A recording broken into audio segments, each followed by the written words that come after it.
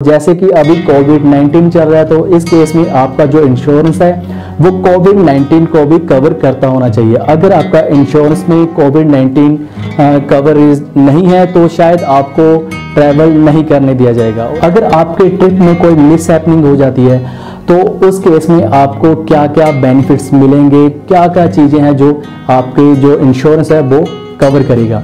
India में जितनी भी ट्रैवल इंश्योरेंस कंपनीज़ हैं, इन सभी के प्राइस जो लगभग सेम ही होते हैं। आपको सौ रुपये में कम में भी पर डे का इंश्योरेंस है जो मिल जाएगा। और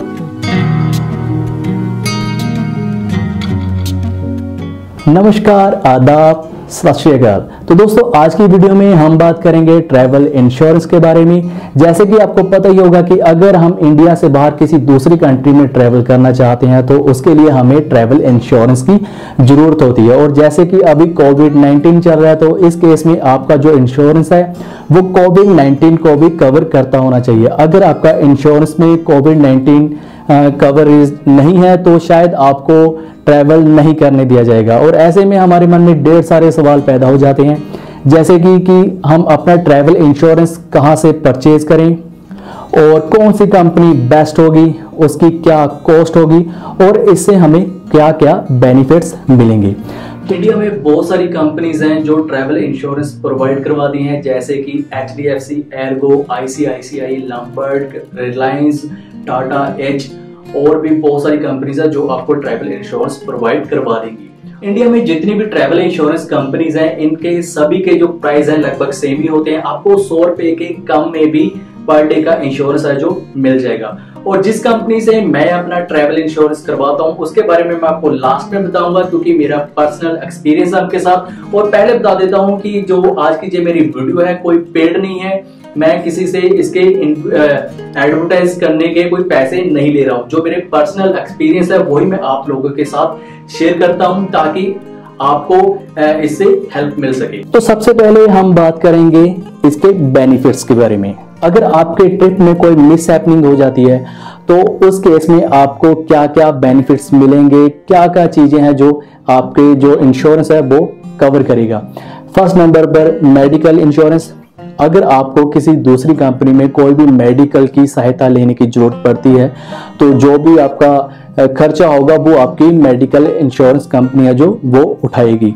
और दूसरे नंबर पर अगर आपका बैगेज या आपका पासपोर्ट लॉस हो जाता है तो भी आपको क्लेम मिलेगा इसका। और अगर आपकी फ्लाइट्स मिस हो जाती है, डिले हो जाती है तो उस केस में भी आपको, आप इसका क्लेम डाल सकते हैं। अगर आप मेरे साथ पहले से जुड़े हुए हैं, अगर आपने मेरी पुरानी वीडियोस देखी हुई है तो आपको पता होगा कि लास्ट मंथ मेरा रशिया का ट्रिप था, जो मैं बया दुबई से होकर जा रहा था। और कोविड के चलते हुए दुबई से मुझे रशिया नहीं जाने दिया गया था। और जो मेरा ट्रिप था, वो कैंसिल हो गया था। और उस केस में मैंने दुबई से रशिया की फ़्लाइट बुक की हुई थी, जिसके मैंने पैसे पहले से ही पे किए हुए थे। तो वो तो लगभग पूरे डूब चुके थे मेरे। तो वापस इंडिया आकर मैंने जो ट्रैवल इंश्योरेंस मेरी कंपनी थी, उससे मैंने अपना क्लेम डाला क्लेम अप्लाई किया। और उन्होंने मुझसे जो जो डॉक्यूमेंट्स मांगे, मैं आपको वो भी सब बता देता हूँ इसमें, ताकि आपको आगे से पता हो कि अगर आप कभी भी अपना ट्रैवल इंश्योरेंस क्लेम करते हैं तो आपको कौन कौन से डॉक्यूमेंट्स की ज़रूरत होगी, ताकि आप अपने डॉक्यूमेंट्स अपने साथ संभाल कर रख सको। तो मुझसे उन्होंने मेरी फ़्लाइट टिकट्स मांगी थी, जो दुबई से मॉस्को तक की थी, और उसकी पेमेंट की रिसिप्ट मांगी थी। तो वो सब मेरे पास ऑलरेडी पड़ी थी तो मैंने वो सब डॉक्यूमेंट्स उनको सेंड कर दिए थे बाय मेल तो ऐसे में उनके साथ मेरी बातचीत चलती रही। डेली में उनके फ़ोन से बात करता था मेल के द्वारा भी मेरी बात होती रहती थी। जो जो डॉक्यूमेंट्स उन्होंने मुझसे मांगे, वो सब मैंने उनको सेंड कर दिए थे। तो लगभग 20 दिन के बाद मेरा जो क्लेम था, वो सेटल हो गया था और मेरे अकाउंट में उन्होंने पैसे डाल दिए थे, जितने भी मेरे उस फ़्लाइट टिकट में खर्च हुए थे। तो अगर आपके ट्रिप में भी कभी कोई मिस हो जाती है, जैसे कि आपका ट्रिप कैंसिल हो जाता है किसी वजह के कारण, या आपकी फ़्लाइट डिले हो जाती है, और जब आपको किसी दूसरी कंट्री में मेडिकल की ज़रूरत होती है आपका पासपोर्ट आपका लगेज गुम हो जाता है तो आप कैसे उसका क्लेम डाल सकते हैं? तो सबसे पहले आपको वो सभी डॉक्यूमेंट्स आपने पास संभाल कर रखने होंगे, जैसे कि फ़्लाइट टिकट्स होगी और आपकी होटल बुकिंग अगर आपने होटल के पैसे पे कर दिया तो उसकी रिसिप्ट आपके पास होनी चाहिए।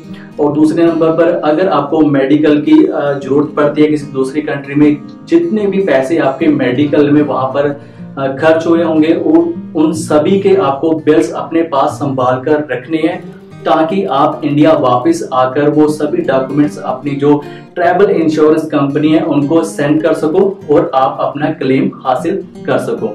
तो ये तो थी वो सभी बातें जो ट्रैवल इंश्योरेंस के रिगार्डिंग थी। सॉरी गाइज़ आपको ज़रूरी बात तो मैं बताना ही भूल गया कि आपका ट्रैवल इंश्योरेंस आप कैसे अप्लाई कर सकते हैं। जिस भी कंपनी से आप अपना ट्रैवल इंश्योरेंस बनाना चाहते हैं डायरेक्ट आप उनकी वेबसाइट पर जा सकते हैं और छोटा सा फॉर्म आपको फिल करना पड़ेगा जिसमें आपको आपका नाम और जिस कंट्री में आप ट्रैवल करने वाले हैं, उस कंट्री का नाम, और जिस डेट से लेकर, जिस डेट तक आप ट्रैवल करेंगे, वो पार्टिकुलर डेट्स आपको मेंशन करनी होगी और आपको अपना पासपोर्ट नंबर उसमें मेंशन करना होगा।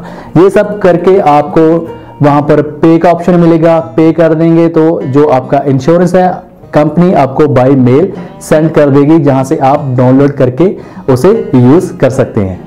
आई होप कि आपको हमारी आज की ये वीडियो अच्छी लगी होगी तो प्लीज़ यार वीडियो को लाइक करें और कमेंट करें। अगर आप मेरे चैनल पर पहली बार हैं तो प्लीज़ चैनल को सब्सक्राइब करना ना भूलिएगा।